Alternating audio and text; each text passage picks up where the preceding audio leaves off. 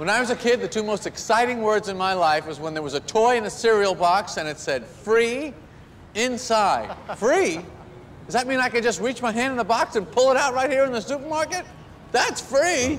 We got a free holiday with our home loan for seven nights on Daydream Island. It really was the best family holiday we've ever had. Yeah, try getting that from a bank. I'm in Wollongong next week.